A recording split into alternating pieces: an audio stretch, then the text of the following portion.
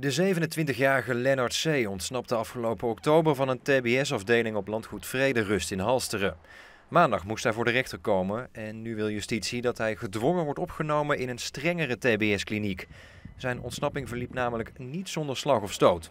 Hij vluchtte in een auto, gewapend met een luchtdrukwapen.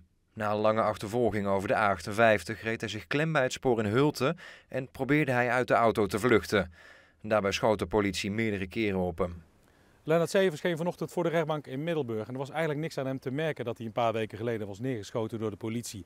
Hij had nog wel één wond die open was, vertelde hij. En hij vertelde ook dat hij spijt had van de gebeurtenissen van een paar weken geleden. Het ging eigenlijk aanvankelijk heel erg goed met hem, maar hij had een relatie met de vriendin en dat was een knipperlichtrelatie. Aan, uit, aan, uit. Het was heel wankel. Ja, en deze keer ging het dus helemaal mis. Hij wilde per se naar zijn vriendin toe en hier achter mij brak hij dus uit. Hij vernielde een ruit en sloeg op de vlucht. En de achtervolging die volgde met de schietpartij, die hebben we uitgebreid meegekregen.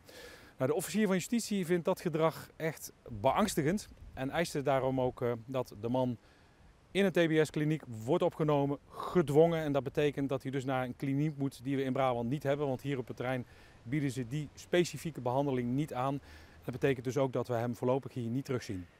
Lennart C. kreeg in mei 2022 zijn eerste TBS-veroordeling, omdat hij zijn ouders en broer had bedreigd met een alarmpistool. Of hij nu een strengere TBS-behandeling krijgt, beslist de rechtbank over twee weken.